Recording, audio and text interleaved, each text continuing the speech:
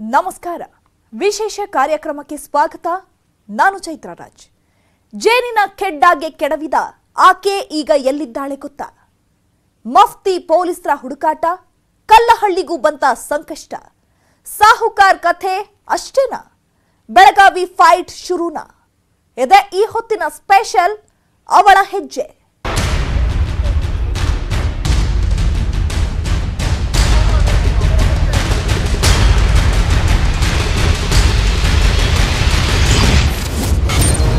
ಜೇನಿನ ಕೆಟ್ಟಾಗಿ ಕೆಡವಿದ ಆಕೆ ಈಗ ಎಲ್ಲಿದ್ದಾಳೆ ಗೊತ್ತಾ?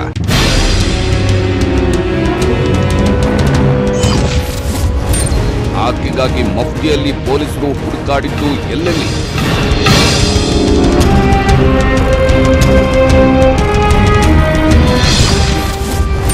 ಜೀವ ಬೆದರಿಕೆ ದೂರು ಕೊಟ್ಟ ಕಲ್ಲಹಳ್ಳಿಗೂ ಸಂಕಷ್ಟ. ಬೆದರಿಸಬೇಡಿ. ಪ್ರಾಮಾಣಿಕ ವ್ಯಕ್ತಿ ಸಾವಿರ ಸಾವಿರ ಜನ ಪ್ರಶ್ನೆ ಅಲ್ರಿ ನೀವು ಹಾ ನಾವು ಉತ್ತರ ಕೊಡ್ತೇವೆ ನಾನು ಉತ್ತರ ಕೊಡೋ ರೀತಿಯಲ್ಲಿ ಕೊಡ್ತಾ ಇದ್ದೇನೆ. ಆರು ಜನ ದುರ್ವಾರ ಕಣ್ಣುಗಳನ್ನು ಮಾಡಿದ್ದಾರೆ ಬೆದರಿಸ್ತಾ ಇದ್ದಾರೆ. ಎಲ್ಲ ಅಪರಿಚಿತ ಸಂಖ್ಯೆಗಳಿಂದ ಬರ್ತಾ ಇದೆ.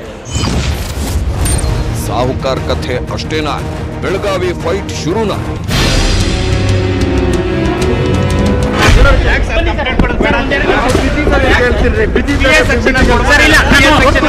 ರಮೇಶ್ ಜಾರಕಿಹೊಳಿ ಅವರು ಮಹಿಳೆಯೊಬ್ಬರಿಗೆ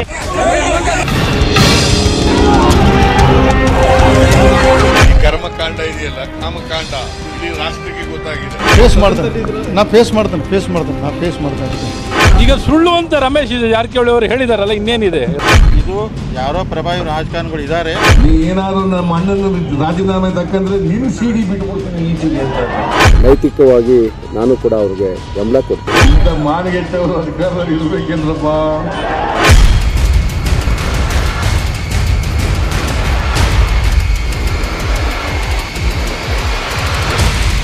ರಾಜಕಾರಣದಲ್ಲಿ ರಾಕೆಟ್ ವೇಗದಲ್ಲಿ ಏರಿತ್ತು ಈಗ ಅದೇ ವೇಗದಲ್ಲಿ ಜಾರಿ ಬಿದ್ದಿದ್ದಾರೆ ರಮೇಶ್ ಜಾರಕಿಹೊಳಿ.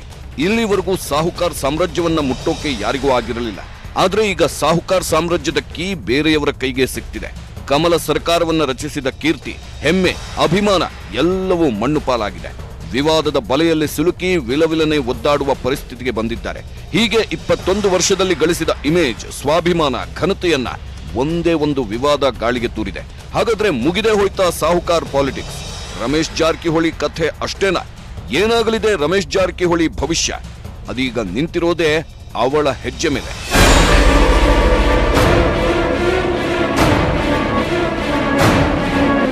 ಎಸ್, ಪ್ರಕರಣದ ನಂತರ ಸುದ್ದಿಯಾದ ಆ ಯುವತಿಯ ಒಂದು ಹೇಳಿಕೆ, ಒಂದು ದೂರು, ಒಂದು ರಿಯಾಕ್ಷನ್ ಮೇಲೆ ರಮೇಶ್ ಜಾರಕಿಹೊಳಿ ರಾಜಕೀಯ ಭವಿಷ್ಯ ನಿಂತಿದೆ.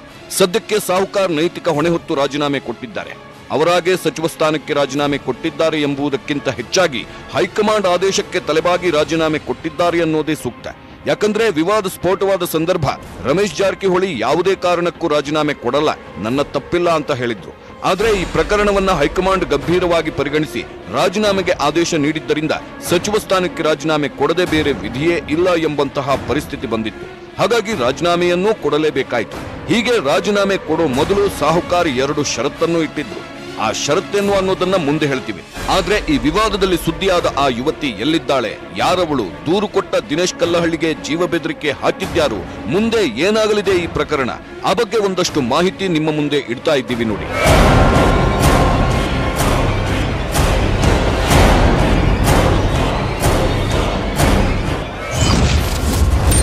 ಆಕೆಗಾಗಿ ಮಫ್ತಿಯಲ್ಲಿ ಹುಡುಕಾಡಿದ ಪೊಲೀಸರು. ಎಲ್ಲಿದ್ದಾಳೆ ಆಕೆ? ಯಾವ ಊರು ಅವಳದ್ದು ಪೊಲೀಸ್ ಠಾಣೆಯಲ್ಲಿ ದೂರು ಕೊಡುವ ಮೂಲಕ ವಿವಾದ ಸ್ಫೋಟಿಸಿದ್ದು ದಿನೇಶ್ ಕಲ್ಲಹಳ್ಳಿ. ಆದ್ರೆ ದಿನೇಶ್ ಕಲ್ಲಹಳ್ಳಿ ದೂರು ಕೊಟ್ಟಾಗ ಈ ಪ್ರಕರಣದಲ್ಲಿ ಸುದ್ದಿಯಾದ ಆ ಯುವತಿ ಯಾರು ಎಲ್ಲಿ ಅವಳು ಈಗೆಲ್ಲಿದ್ದಾರೆ, ಯಾವ ಜಿಲ್ಲೆಯ ಯುವತಿ, ಹೀಗೆ ಯಾವ ಮಾಹಿತಿಯನ್ನು ಪೊಲೀಸರಿಗೆ ಕೊಟ್ಟಿಲ್ಲ. ಯುವತಿ ಮನೆಯವರಿಗೆ ಜೀವ ಬೆದರಿಕೆ ಇದೆ ಅಂತ ಹೇಳಿ ತಮಗೆ ಮಾಹಿತಿ ನೀಡಿದ ಕಾರಣ ದೂರು ಕೊಟ್ಟಿರೋದಾಗಿ ಕಲ್ಲಹಳ್ಳಿ ಸ್ಪಷ್ಟನೆ ಕೊಟ್ಟಿದ್ರು. ಆದರೆ ಯಾವಾಗ ಈ ವಿವಾದ ಸ್ಫೋಟಗೊಳ್ತೋ, ಆನಂತರ ನಂತರ ಈ ಪ್ರಕರಣದಲ್ಲಿ ಸುದ್ದಿಯಾದ ಯುವತಿಯನ್ನ ಪತ್ತೆ ಹಚ್ಚಲೇಬೇಕಾದ ಅನಿವಾರ್ಯತೆ ಪೊಲೀಸರಿಗೂ ಇದೆ. ಹೀಗಾಗಿ ಆಕೆಗಾಗಿ ಮಫ್ತಿಯಲ್ಲಿ ಮಹಿಳಾ ಪೊಲೀಸರು ಹುಡುಕಾಡಿದ್ದಾರೆ. ಬೆಂಗಳೂರಿನ ಆರ್ಟಿ ನಗರದ ಸುತ್ತಮುತ್ತ ಇಪ್ಪತ್ತಕ್ಕೂ ಹೆಚ್ಚು ಮಹಿಳಾ ಪೊಲೀಸರು ಹುಡುಕಾಟ ನಡೆಸಿದ್ದಾರೆ. ಮಹಿಳಾ ಪಿಜಿಗಳಲ್ಲಿ ಹುಡುಕಾಡಿದ್ದಾರೆ. ಆದರೆ ಸಿಕ್ಕಿದ್ರೆ ಆಕೆ ಸಂಪರ್ಕಕ್ಕೆ ಬಂದ್ರೆ ಹೆಚ್ಚಿನ ಮಾಹಿತಿ ಸಿಗಬಹುದು ಅಥವಾ ಆಕೆಯೇ ದೂರು ನೀಡಿದ್ರೆ ತನಿಖೆಗೆ ಸಹಕಾರಿಯಾಗಲಿದೆ ಅನ್ನೋ ಕಾರಣಕ್ಕೆ ಪೊಲೀಸರೀಗ ಆ ಯುವತಿಯ ಬೆನ್ನು ಬಿದ್ದಿದ್ದಾರೆ. ಒಂದು ಮಾಹಿತಿ ಪ್ರಕಾರ ಪ್ರಕರಣದ ನಂತರ ಸುದ್ದಿಯಾದ ಯುವತಿ ಕಳೆದ ಆರು ತಿಂಗಳ ಹಿಂದೆಯೇ ದುಬೈಗೆ ಹಾರಿದ್ದಾರೆ ಅಂತ ಹೇಳಲಾಗ್ತಿದೆ. ಆ ಯುವತಿಯ ಮಾತಿನ ಶೈಲಿ ಪ್ರಕಾರ ಆಕೆ ಉತ್ತರ ಕರ್ನಾಟಕ ಕಡೆಯವಳಾಗಿರಬಹುದು ಎಂಬ ಅನುಮಾನ ಇದೆ. ಇನ್ನು ಕೆಲ ಮಾಹಿತಿಯ ಪ್ರಕಾರ ಆಕೆ ಕಳೆದ ಏಳೆಂಟು ತಿಂಗಳಿನಿಂದ ವಿಧಾನಸೌಧಕ್ಕೆ ಪದೇ ಪದೇ ಭೇಟಿ ನೀಡುತ್ತಿದ್ದಳು ಅಂತಾನೂ ಹೇಳಲಾಗ್ತಿದೆ. ಹೀಗೆ ಆಕೆ ಬಂದಾಗ ರಾಜ್ಯದ ಜಲಾಶಯಗಳ ಬಗ್ಗೆ ಡಾಕ್ಯುಮೆಂಟರಿ ಮಾಡಬೇಕೆಂದಿದ್ದೇನೆ. ಹೀಗಾಗಿ ಡ್ಯಾಂಗಳನ್ನು ಚಿತ್ರೀಕರಿಸಲು ಸಂರಕ್ಷಿತ ಸ್ಥಳಗಳಲ್ಲಿ ಅನುಮತಿ ಸಿಗದಿರುವುದರಿಂದ ಸಚಿವರ ಬಳಿ ಬಂದಿದ್ದೇನೆ ಅಂತ ಹೇಳುತ್ತಿದ್ದಳು ಅಂತಾನೂ ಮಾಹಿತಿ ಇದೆ. ಆದರೆ ಯಾವುದಕ್ಕೂ ಸೂಕ್ತ ಸಾಕ್ಷ್ಯವಿಲ್ಲ. ಆಕೆ ಬಗ್ಗೆ ಅಂತೆ ಕಂತೆಯ ಸುದ್ದಿಗಳೇ ಹರಿದಾಡ್ತಿರೋದ್ರಿಂದ ಆಕೆ ನಿಜವಾಗಿ ಯಾರು? ಆಕೆಗೆ ಅನ್ಯಾಯವಾಗಿದ್ದು ನಿಜಾನ? ಇವೆಲ್ಲ ಸತ್ಯ ಹೊರಬರಬೇಕಾದ್ರೆ ಪೊಲೀಸರು ಪ್ರಾಥಮಿಕ ತನಿಖೆಯನ್ನ ಆರಂಭಿಸಬೇಕಾದ್ರೆ ಆಕೆ ಮೊದಲು ಪೊಲೀಸರ ಸಂಪರ್ಕಕ್ಕೆ ಸಿಗಬೇಕಾಗಿದೆ. ದೂರು ಕೊಟ್ಟ ದಿನೇಶ್ ಕಲ್ಲಹಳ್ಳಿಗೆ ಜೀವ ಬೆದರಿಕೆ.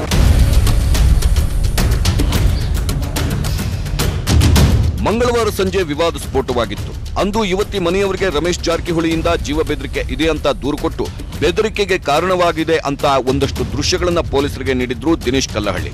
ಆದರೆ ನಾವಾಗಲೇ ಹೇಳಿದಂತೆ ಪ್ರಕರಣದಲ್ಲಿ ಸುದ್ದಿಯಾದ ಯುವತಿಯ ಯಾವ ಮಾಹಿತಿಯನ್ನು ದೂರುದಾರ ದಿನೇಶ್ ಕಲ್ಲಹಳ್ಳಿ ಹೇಳಿರಲಿಲ್ಲ. ಹೀಗಾಗಿ ಗುರುವಾರ ಕಬ್ಬನ್ ಪಾರ್ಕ್ ಪೊಲೀಸ್ ಠಾಣೆಯಲ್ಲಿ ದಿನೇಶ್ ಕಲ್ಲಹಳ್ಳಿ ವಿಚಾರಣೆಗೆ ಹಾಜರಾಗುವಂತೆ ನೋಟಿಸ್ ನೀಡಲಾಗಿತ್ತು. ಆದರೆ ದಿನೇಶ್ ಕಲ್ಲಹಳ್ಳಿ ವಿಚಾರಣೆಗೆ ಹಾಜರಾಗಿಲ್ಲ.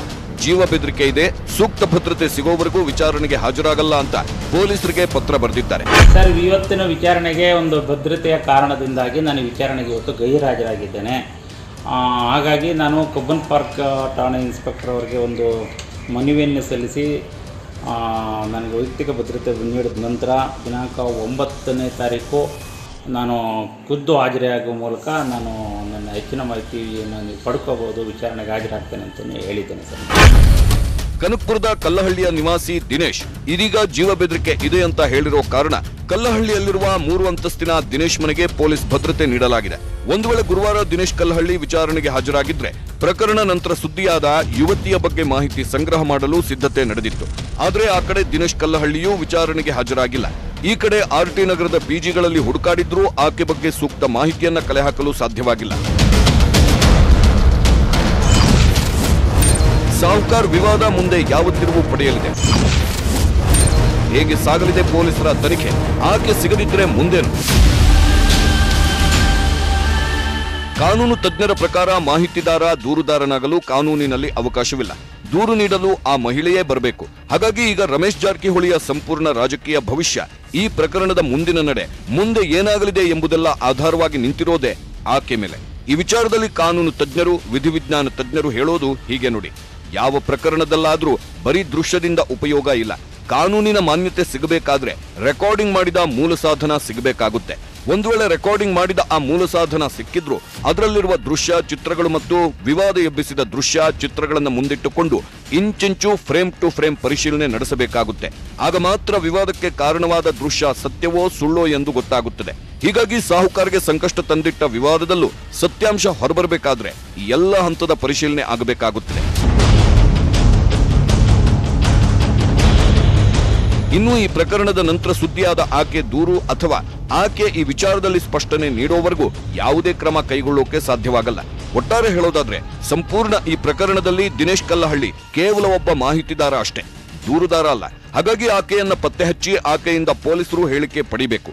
ಈ ಪ್ರಕ್ರಿಯೆ ನಡೆಯದಿದ್ರೆ ಕಾನೂನು ಪ್ರಕ್ರಿಯೆಗಳು ಪೂರ್ಣಗೊಳ್ಳೋದಿಲ್ಲ. ಈ ಕೇಸ್ನಲ್ಲಿ ಕಣ್ಣಾರೆ ನೋಡಿದ ವ್ಯಕ್ತಿ ಇಲ್ಲದ ಕಾರಣ ನ್ಯಾಯಾಲಯದಲ್ಲೂ ವಿಚಾರಣೆ ಎದುರಿಸೋದು ಕಷ್ಟ ಅಂತಾರೆ ಕಾನೂನು ತಜ್ಞರು. ಹಾಗಾಗಿ ಇದೀಗ ಪೊಲೀಸರು ಆಕೆಯನ್ನು ಹುಡುಕಲು ಬಲೆ ಬೀಸಿದ್ದಾರೆ. ಆಕೆಯನ್ನ ಹುಡುಕಲು ಖಾಕಿ ಸರ್ಕಸ್ ಮುಂದುವರೆದಿದೆ. ಒಂದು ವೇಳೆ ದಿನೇಶ್ ಕಲ್ಲಹಳ್ಳಿಯೂ ವಿವಾದಕ್ಕೆ ಸಂಬಂಧಪಟ್ಟಂತೆ ಪೂರಕ ದಾಖಲೆಗಳನ್ನು ಒದಗಿಸದೆ ಹೋದ್ರೆ ಆ ಯುವತಿಯೂ ಸಿಗದೇ ಇದ್ರೆ ಈ ಸಂಪೂರ್ಣ ಪ್ರಕರಣವನ್ನೇ ಪೊಲೀಸರು ಕೈಬಿಡಬಹುದು ಎನ್ನಲಾಗಿದೆ. ಕೇಸ್ ಕೈಬಿಟ್ರೆ ರಮೇಶ್ ಜಾರಕಿಹೊಳಿಗೆ ಕ್ಲೀನ್ ಚಿಟ್ ಸಿಗಬಹುದು ಅಂತ ಹೇಳಲಾಗ್ತಿದೆ. ಆದರೂ ಈ ಆರೋಪ ವಿವಾದ ರಮೇಶ್ ಜಾರಕಿಹೊಳಿಗೆ ಭವಿಷ್ಯದಲ್ಲಿ ಕಪ್ಪು ಚುಕ್ಕೆಯಾಗಿ ಕಾಡಲಿದೆ. ಸಾಹುಕಾರ್ ಕಥೆ ಮುಂದೇನು? ಬೆಳಗಾವಿಗಾಗಿ ಫೈಟ್ ಶುರುವಾಯ್ತಾ? ಸದ್ಯಕ್ಕೆ ನೈತಿಕ ಹೊಣೆ ಹೊತ್ತು ರಮೇಶ್ ಜಾರಕಿಹೊಳಿ ಸಚಿವ ಸ್ಥಾನಕ್ಕೆ ರಾಜೀನಾಮೆ ಕೊಟ್ಟಿದ್ದಾರೆ. ಈ ಒಂದು ರಾಜೀನಾಮೆಯಿಂದ ಜಾರಕಿಹೊಳಿ ಕುಟುಂಬದ ಹನ್ನೊಂದು ವರ್ಷಗಳ ಹಿಡಿತ ಕೈತಪ್ಪುವ ಭೀತಿ ಇದೆ. ಜಾರಕಿಹೊಳಿ ಬ್ರದರ್ಸ್ ಬೇರೆ ಬೇರೆ ಪಕ್ಷದಲ್ಲಿದ್ದರು ಕಳೆದ ಹನ್ನೊಂದು ವರ್ಷಗಳಿಂದ ಒಬ್ಬರಲ್ಲ ಒಬ್ಬರು ಅಧಿಕಾರವನ್ನ ಪಡೆಯುವಲ್ಲಿ ಯಶಸ್ವಿಯಾಗಿದ್ದಾರೆ. ಎರಡು ಸಾವಿರದ ನಾಲ್ಕರಲ್ಲಿ ಸತೀಶ್ ಜಾರಕಿಹೊಳಿ ಸಚಿವರಾಗಿದ್ದರು ಎರಡು ಸಾವಿರದ ಆರರಲ್ಲಿ ಮೈತ್ರಿ ಸರ್ಕಾರ ಬಂದಾಗ ಬಾಲಚಂದ್ರ ಜಾರಕಿಹೊಳಿ ಸಚಿವರಾದರು. ಎರಡು ಸಾವಿರದ ಎಂಟರಲ್ಲಿ ಮತ್ತೆ ಬಾಲಚಂದ್ರ ಜಾರಕಿಹೊಳಿಗೆ ಸಚಿವಗಿರಿ ಸಿಕ್ತು. ಎರಡು ಸಾವಿರದ ಹದಿಮೂರರಲ್ಲಿ ಸಿದ್ದು ಸರ್ಕಾರ ಬಂದಾಗ ಸತೀಶ್ ಜಾರಕಿಹೊಳಿಗೆ ಸ್ಥಾನಮಾನ ಕೊಡಲಾಯಿತು. ಎರಡು ಸಾವಿರದ ಹದಿನೆಂಟರಲ್ಲಿ ಮೈತ್ರಿ ಸರ್ಕಾರ ಬಂದಾಗ ರಮೇಶ್ ಜಾರಕಿಹೊಳಿ, ಸತೀಶ್ ಜಾರಕಿಹೊಳಿ ಇಬ್ಬರಿಗೂ ಸಚಿವಗಿರಿ ಸಿಕ್ತು. ಮೈತ್ರಿ ಸರ್ಕಾರವನ್ನ ಬೀಳಿಸಿ ಕಮಲ ಸರ್ಕಾರ ಅರಳಿಸಿದ ರಮೇಶ್ ಜಾರಕಿಹೊಳಿ ನಂತರ ಬಿಎಸ್ವೈ ಸರ್ಕಾರದಲ್ಲಿ ತಮಗೆ ಬೇಕಾದ ಜಲಸಂಪನ್ಮೂಲ ಖಾತೆಯನ್ನೇ ಪಡೆದಿದ್ರು. ಆದ್ರೀಗ ವಿವಾದದಿಂದ ಆ ಪಟ್ಟದಿಂದ ಕೆಳಗಿಳಿದಿದ್ದಾರೆ. ಹೀಗೆ ಸತತ ಹನ್ನೊಂದು ವರ್ಷಗಳಿಂದ ಜಾರಕಿಹೊಳಿ ಬ್ರದರ್ಸ್ ಇಟ್ಟುಕೊಂಡಿದ್ದ ಹಿಡಿತ ಈಗ ಕೈತಪ್ಪುವ ಭೀತಿ ಎದುರಾಗಿದೆ. ಇನ್ನು ರಮೇಶ್ ಜಾರಕಿಹೊಳಿ ಪರ ನಿಂತ ಸಹೋದರ ಬಾಲಚಂದ್ರ ಜಾರಕಿಹೊಳಿ, ಇದು ರಾಜಕೀಯ ಷಡ್ಯಂತ್ರ, ಬೇರೆ ಪಕ್ಷದವರ ಕುತಂತ್ರ ಅಂತ ಹೇಳಿದ್ದಾರೆ. ಅಲ್ಲಲ್ಲ, ಈಗ ಯಾರೋ ಪ್ರಭಾವಿ ರಾಜಕಾರಣಿ ಇರಬೇಕು, ಯಾಕಂದ್ರೆ ಸಿಂಗಾಪುರ್, ದುಬೈ, ರಷ್ಯಾ ಅಂತ ದೊಡ್ಡ ದೇಶದಲ್ಲಿ ಮಾಡ್ಬೇಕಂದ್ರೆ ಯಾರೋ ಆರ್ಡಿನರಿ ರಾಜಕಾರಣ ಮಾಡಕ್ ಸಾಧ್ಯ ಇಲ್ಲ. ಬಿ ಜೆ ಪಿಯಲ್ಲಿ ಯಾರೂ ಮಾಡಿಲ್ಲ. ಇದು ಯಾರೋ ಪ್ರಭಾವಿ ರಾಜಕಾರಣಿಗಳು ಇದ್ದಾರೆ. ಅದಕ್ಕೆ ತನಿಖೆ ಆಯ್ತಂದ್ರೆ ಮುಖ್ಯಮಂತ್ರಿಗಳು ಅಗದಿ ಇದರಿಂದ ಕೇಳಿದಾರೋ. ನೋಡ್ಕೊಂಡು ಚರ್ಚೆ ಮಾಡ್ತಾ ಇದ್ದಾರೆ ತನಿಖೆ ಆಗಲಿ. ಇನ್ನೊಬ್ಬ ಸಹೋದರನಾದ ಸತೀಶ್ ಜಾರಕಿಹೊಳಿ ಬಿಜೆಪಿ ಪಕ್ಷದಲ್ಲೇ ರಮೇಶ್ ಜಾರಕಿಹೊಳಿಗೆ ಆಗದವರು ಈ ರೀತಿ ಮಾಡಿದ್ದಾರೆ. ಮೇಲ್ನೋಟಕ್ಕೆ ಇಲ್ಲಿ ಷಡ್ಯಂತ್ರ ನಡೆದಿದೆ ಅಂತಿದ್ದಾರೆ. ರಮೇಶ್ ಜಾರಕಿಹೊಳಿಯ ಏಳಿಗೆಯನ್ನ ಸಹಿಸದವರು ಹೀಗೆ ಮಾಡಿರಬಹುದು ಅಂತಾನೂ ಹೇಳಿದ್ದಾರೆ. ತನಿಖೆಗೆ ಆಗ್ರಹ ಮಾಡಿ ಬೇಗ ತನಿಖೆ ಆಗಬೇಕು ಸತ್ಯಾಂಶ ಹೊರಬೇಕು ಅನ್ನೋದು ಅಷ್ಟೇ ಈಗ ಉಳಿದದ್ದು. ಯಾಕಂದ್ರೆ ಅವ್ರ ಪಾರ್ಟಿಗೆ ಸಂಬಂಧಪಟ್ಟಂಥದ್ದು ಅವ್ರು ಯಾಕೆ ಯಾವ ರೀತಿ ಬೆಳೀತಾ ಇದ್ರು ಯಾರು ಸಹಿಸ್ಕೊಂಡಿಲ್ಲ ಸೊ ಅದು ಅವ್ರಿಗೆ ಬಿಟ್ಟಂಥ ವಿಚಾರ, ಅದ್ರ ಬಗ್ಗೆ ನಾವು ಕಮೆಂಟ್ ಮಾಡಲಿಕ್ಕೆ ಆಗೋಲ್ಲ. ಸೊ ಅವ್ರ ಪಕ್ಷದಲ್ಲಿ ಕೂಡ ಭಾಳಷ್ಟು ಬೆಳೆದನ ಶಿಸ್ಲ ಆಗಿರ, ಆಗಿರ್ಬೋದು ಅವ್ರ ಪಕ್ಷದಲ್ಲಿ ಕೂಡ. ಸೊ ಯಾವುದೇ ಇಲ್ಲಿ ನಾವು ಇತಿ ಮಿತಿಯಲ್ಲೇ ಇರಬೇಕಾಗುತ್ತದೆ. ಹೀಗೆ ಇಬ್ಬರು ಸಹೋದರರು ಸಾಹುಕಾರ್ ರಾಜಕೀಯ ಷಡ್ಯಂತ್ರಕ್ಕೆ ಬಲುಪಶುವಾಗಿದ್ದಾರೆ ಎಂಬ ಅರ್ಥದಲ್ಲಿ ಮಾತನಾಡಿದ್ದಾರೆ. ಬಿಜೆಪಿಯ ಹಲವು ಸಚಿವರು ಕೂಡ ಇದೇ ಅಭಿಪ್ರಾಯ ಮಂಡಿಸಿದ್ದಾರೆ. ಹಾಗಾದ್ರೆ ನಿಜವಾಗಿಯೂ ಇದು ಷಡ್ಯಂತ್ರನ?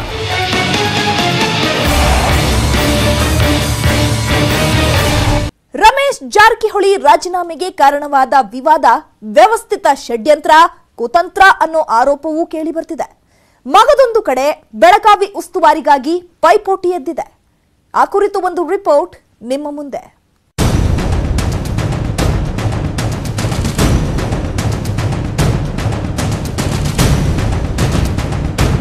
ಕಾಂಗ್ರೆಸ್ಗೆ ಗುಡ್ ಬೈ ಹೇಳಿ ಮೈತ್ರಿ ಸರ್ಕಾರದಿಂದ ರೆಬೆಲ್ ಆಗಿ ಹೊರಬಂದ ರಮೇಶ್ ಜಾರಕಿಹೊಳಿ ಬಿಜೆಪಿಗೆ ಸೇರಿದ ಬಳಿಕ ಬೆಳಗಾವಿ ಬಿಜೆಪಿ ಹಿಡಿತ ಅವರ ಕೈಗೆ ಬಂದಿತ್ತು. ಸರ್ಕಾರ ರಚನೆಗೆ ಕಾರಣವಾಗಿದ್ದ ರಮೇಶ್ ಜಾರಕಿಹೊಳಿಗೆ ಕೇಳಿದ ಸಚಿವಗಿರಿ ಬೆಳಗಾವಿ ಉಸ್ತುವಾರಿಯನ್ನು ನೀಡಲಾಯಿತು. ಇದೀಗ ವಿವಾದದಿಂದಾಗಿ ಸಾಹುಕಾರ್ ಆ ಸ್ಥಾನಮಾನವನ್ನ ಕಳೆದುಕೊಂಡಿದ್ದಾರೆ. ಹೀಗಾಗಿ ಬಿಜೆಪಿಯಲ್ಲೀಗ ಬೆಳಗಾವಿ ಉಸ್ತುವಾರಿಗಾಗಿ, ತೆರವಾದ ಜಲಸಂಪನ್ಮೂಲ ಖಾತೆಗಾಗಿ ಕಮಲದೊಳಗೆ ಪೈಪೋಟಿ ಶುರುವಾಗಿದೆ. ಜಿಲ್ಲಾ ಉಸ್ತುವಾರಿ ಸ್ಥಾನದ ಮೇಲೆ ನಾಲ್ವರು ಕಣ್ಣಿಟ್ಟಿದ್ದಾರೆ. ಲಕ್ಷ್ಮಣ ಸವದಿ, ಉಮೇಶ್ ಕತ್ತಿ, ಶಶಿಕಲಾ ಜೊಲ್ಲೆ, ಶ್ರೀಮಂತ ಪಾಟೀಲ್ ಉಸ್ತುವಾರಿ ಸ್ಥಾನಕ್ಕೆ ಟವಲ್ ಹಾಕಿದ್ದಾರೆ. ಅದರಲ್ಲೂ ಸವದಿ ಅಂಡ್ ಕತ್ತಿ ನಡುವೆ ಹಣಾಹಣಿಯೇ ನಡೆಯುತ್ತಿದೆ. ಈ ಹಣಾಹಣಿಯಲ್ಲಿ ಬೆಳಗಾವಿ ಉಸ್ತುವಾರಿ ಯಾರಿಗೆ ಸಿಕ್ಕರು? ಮುಂಬರುವ ಬೆಳಗಾವಿ ಲೋಕಸಭಾ ಚುನಾವಣೆ ಗೆಲುವಿನ ಟಾರ್ಗೆಟ್ ಅವರ ಹೆಗಲೇರಲಿದೆ. ಆದರೆ ರಾಜೀನಾಮೆ ಕೊಡೋ ಮೊದಲೇ ರಮೇಶ್ ಜಾರಕಿಹೊಳಿ ಒಂದಷ್ಟು ಕಂಡೀಷನ್ ಹಾಕಿರೋದ್ರಿಂದ ಸಾಹುಕಾರ್ ಕುರ್ಚಿ ಮೇಲೆ ಕಣ್ಣು ಹಾಕಿದವರಿಗೆ ಸ್ವಲ್ಪ ಹಿನ್ನಡೆಯಾಗಿದೆ ಎನ್ನಲಾಗಿದೆ. ರಾಜೀನಾಮೆ ಕೊಡೋದಿಕ್ಕೂ ಮೊದಲು ರಮೇಶ್ ಜಾರಕಿಹೊಳಿ ಎರಡು ಷರತ್ತನ್ನ ಸಿಎಂ ಮುಂದಿಟ್ಟಿದ್ದಾರೆ ಅಂತ ಹೇಳಲಾಗ್ತಿದೆ. ಆ ಷರತ್ತೇನೆಂದ್ರೆ ರಾಜೀನಾಮೆ ನಂತರ ಬಾಲಚಂದ್ರ ಜಾರಕಿಹೊಳಿಗೆ ಸಚಿವ ಸ್ಥಾನ ಕೊಡಬೇಕು ಮತ್ತು ಜಲಸಂಪನ್ಮೂಲ ಖಾತೆಯನ್ನೇ ನಮ್ಮ ಕುಟುಂಬಕ್ಕೆ ಕೊಡಬೇಕು ಎಂಬ ಷರತ್ತನ್ನ ಇಟ್ಟಿದ್ದಾರೆ ಎನ್ನಲಾಗಿದೆ.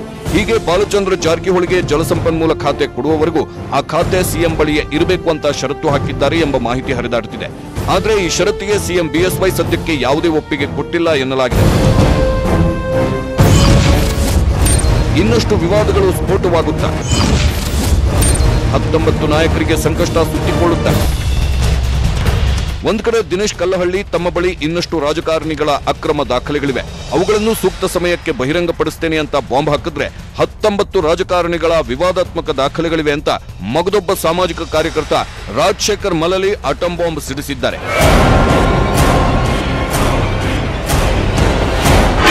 ನನಗೆ ತಿಳಿದ ಮಾಹಿತಿಗಳು ಸುಮಾರು ಇನ್ನೊಂದು ಹತ್ತೊಂಬತ್ತು ಜೀವಿಗಳು ಇಟ್ಕೊಂಡು ಆಟ ಆಡ್ತಿದ್ದಾರೆ ಅಂತ ಗೊತ್ತಾಯಿತು. ಹತ್ತೊಂಬತ್ತು ಜನರದು. ಒಬ್ಬ ಮಾಜಿ ಮುಖ್ಯಮಂತ್ರಿಗಳು ವಾರದಲ್ಲಿ ಒಂದು ಸಾರಿ ಅಥವಾ ತಿಂಗಳಲ್ಲಿ ಎರಡು ಸಾರಿ ವಯನಾಡಿಗೆ ಹೋಗ್ತಾರೆ. ಯಾಕೆ ಹೋಗ್ತಾರೆ? ಇದೇ ರೀತಿ ಪ್ರಕ್ರಿಯೆಗಳಲ್ಲಿ ಪಾಲ್ಗೊಳ್ಳಿಕ್ಕೆ ಹೋಗ್ತಾರೆ ಅವರು. ಅಂದರೆ ಯಾರಿಗೂ ಬಿಟ್ಟಿಲ್ಲ ಇದು. ಎಸ್, ಹೀಗೆ ಇನ್ನೊಂದಷ್ಟು ವಿವಾದಗಳು ಸ್ಫೋಟವಾಗುವ ಸಾಧ್ಯತೆ ಇದೆ ಅಂತ ಸಾಮಾಜಿಕ ಕಾರ್ಯಕರ್ತ ರಾಜಶೇಖರ್ ಮಲಲಿ ಹೇಳಿದ್ದಾರೆ. ಮಕ್ಕಳು ಅವ್ರಿಗೆ ದೂರು ಕೊಡಬೇಕು. ಕೊಟ್ಟಿಲ್ಲ. ಇದು ವಾಂಟೆಡ್ಲಿ ಮಾನ ಮರ್ಯಾದೆ ಹಾಳು ಮಾಡಬೇಕಷ್ಟೇ ವಿನಃ ಆ ಸಂತ್ರಸ್ತೆ ಏನಾದರೂ ನಿಜವಾಗ್ಲೂ ಸಂತ್ರಸ್ತೆ ಆಗಿದ್ದರೆ ನನ್ನ ಬಳಿ ಬಂದರೆ ಅಥವಾ ನನ್ನ ದೂರವಾಣಿ ಸಂಖ್ಯೆ ಎಲ್ಲೋದ್ರೂ ಸಿಕ್ಕುತ್ತೆ, ಬಂದರೆ ನಿಜವಾಗ್ಲೂ ಅವ್ರಿಗೆ ಒಂದು ಎಲ್ಲಿ ಬೇಕಲ್ಲಿ ಪ್ರಕರಣವನ್ನು ಯಾವ ಹಂತಕ್ಕೆ ಬೇಕಾದರೂ ನಾನು ತೊಗೊಂಡು ಹೋಗ್ತೀನಿ. ಬಟ್ ಆ ವಿಡಿಯೋ ಎಲ್ಲ ಸೂಕ್ಷ್ಮವಾಗಿ ನೋಡಿದಾಗ ಅದು ಒಂದು ಒಪ್ಪಂದದ ಪ್ರಕ್ರಿಯೆ ಅಂತ ನಮಗೆ ಅನಿಸುತ್ತೆ. ಮೊದಲು ಆ ಸಂತ್ರಸ್ತೆ ಮಹಿಳೆ ದೂರು ಕೊಡಬೇಕು. ಕೊಟ್ಟಿಲ್ಲ. ಆ ಸಂತ್ರಸ್ತ ಮಹಿಳೆಯ ಗಂಡ ದೂರು ಕೊಡ್ಬೋದು, ಅವರು ಕೊಟ್ಟಿಲ್ಲ. ಅಥವಾ ಈ ಸೋಕಾಲ್ಡ್ ಸಚಿವರ ಹೆಂಡತಿ ದೂರು ಕೊಡಬೇಕು, ಅವರು ಕೊಟ್ಟಿಲ್ಲ. ಅಥವಾ ಸಂತ್ರಸ್ತೆಯ ಮಕ್ಕಳು ಯಾರಾದ್ರು ದೂರು ಕೊಡಬೇಕು, ಕೊಟ್ಟಿಲ್ಲ. ಇದು ವಾಂಟೆಡ್ಲಿ ಮಾನ ಮರ್ಯಾದೆ ಹಾಳು ಮಾಡಬೇಕಷ್ಟೇ ವಿನಃ ಇನ್ನು ಬಿಜೆಪಿಯ ಹಲವು ಸಚಿವರು ಕೂಡ ಇದು ಒಂದು ಷಡ್ಯಂತ್ರ ಅಂತ ವಾದಿಸಿದ್ದಾರೆ. ಆದರೆ ಯಾರ ಷಡ್ಯಂತ್ರ? ಅಥವಾ ನಿಜವಾಗಿಯೂ ಆಕೆಗೆ ಅನ್ಯಾಯ ಆಗಿದ್ಯಾ? ವಿವಾದಾತ್ಮಕ ದಾಖಲೆ ಯಾವಾಗಿದ್ದು? ಯಾರು ಎಡಿಟ್ ಮಾಡಿದ್ದು, ಯಾರು ಯಾರಿಗೆ ಕೊಟ್ಟಿದ್ದು, ಯಾಕಾಗಿ ಕೊಟ್ಟಿದ್ದು, ಹೀಗೆ ಕಾನೂನಾತ್ಮಕವಾಗಿ ಎದುರಾಗುವ ಹತ್ತಾರು ಪ್ರಶ್ನೆಗಳಿಗೆ ಉತ್ತರ ಸಿಕ್ಕಿಲ್ಲ. ಇನ್ನೂ ಈ ಸಂಪೂರ್ಣ ವಿವಾದಕ್ಕೆ ತಾರ್ಕಿಕ ಅಂತ್ಯ ಸಿಗಬೇಕಾದ್ರೆ ಅವಳ ಹೆಜ್ಜೆ ಜಾಡು ಹಿಡಿಯಬೇಕು. ಎಲ್ಲ ಬೆಳವಣಿಗೆಗಳು ಮತ್ತು ಅವಳು ಕೊಡುವ ಹೇಳಿಕೆ ಅಥವಾ ಆಕೆಯ ಪ್ರತಿಕ್ರಿಯೆ ಮೇಲೆ ರಮೇಶ್ ಜಾರಕಿಹೊಳಿ ರಾಜಕೀಯ ಭವಿಷ್ಯ ನಿಂತಿದೆ. ಆಕೆ ಕಂಪ್ಲೇಂಟ್ ಕೊಟ್ಟಿಲ್ಲ. ಆಕೆ ಕುಟುಂಬಸ್ಥರು ದೂರು ಕೊಟ್ಟಿಲ್ಲ.